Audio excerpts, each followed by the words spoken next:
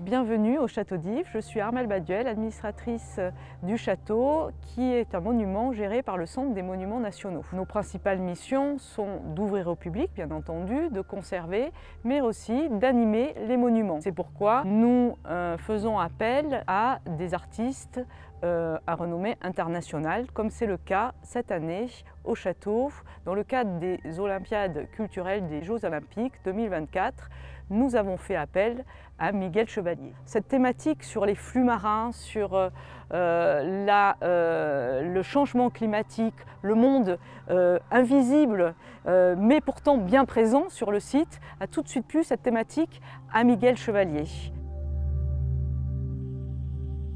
Je m'appelle Miguel Chevalier, je suis un artiste qui utilise les technologies numériques depuis une quarantaine d'années dans le domaine des arts plastiques. Et j'ai été invité dans le cadre des monuments nationaux euh, et on est ici dans la cour du château d'If.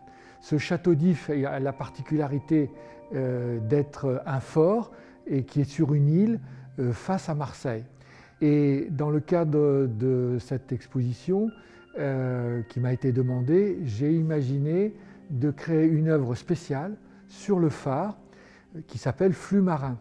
Flux marin, en fait, c'est une œuvre fixe euh, qui enveloppe le phare et qui euh, montre la partie invisible de tout cet univers aquatique. Donc c'est une œuvre très colorée qui est visible de très loin et la particularité c'est qu'elle sera visible pour euh, accueillir la flamme olympique qui, qui arrivera le 8 mai.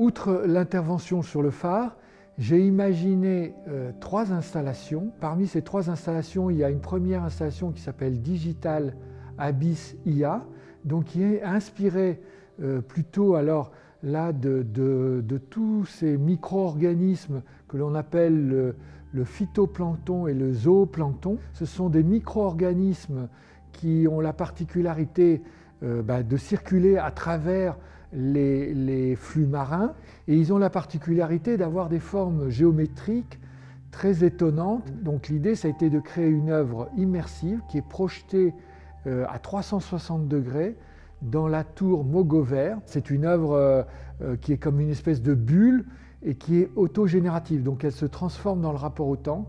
Elle puise dans une banque de données que j'ai créée en partie avec l'intelligence artificielle. Cette installation est enrichie par la composition musicale de Michel Rodolphi qui nous plonge dans les abysses. En complément de cette installation de réalité virtuelle qui est projetée, il y a deux cabinets de curiosité. Ce sont des cabinets de curiosité inspirés de tous ces micro-organismes et de cet univers euh, qu'on appelle les coraux. Alors, ils ont la particularité d'être euh, faits en impression 3D et tous ces éléments sont fluorescence et sont éclairés par de la lumière noire, comme ces animaux marins qui sont dans les abysses et qui sont bioluminescents.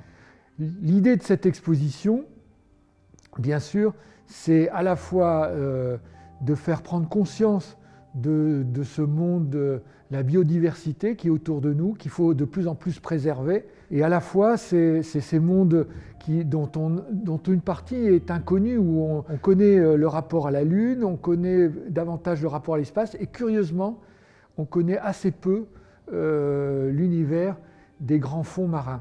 Donc voilà, donc cette exposition a, à la fois rend euh, hommage à tout cet univers invisible des flux marins et à la fois à tout ce monde des micro-organismes qui sont dans le monde euh, aquatique et, et que j'agrandis de manière euh, hors norme pour les rendre visibles. Inviter Miguel Chevalier au Château d'If a été un challenge parce que comment le père euh, de euh, l'art numérique français pouvait euh, correspondre et pouvait présenter ses œuvres dans un château du XVIe siècle. Ça a été une réelle expérience et je pense un enrichissement pour tous. J'espère qu'à la suite de cette visite, vous euh, garderez en mémoire euh, cette, cette euh, volonté de continuelle régénérescence que présente à travers toutes ses œuvres Miguel Chevalier.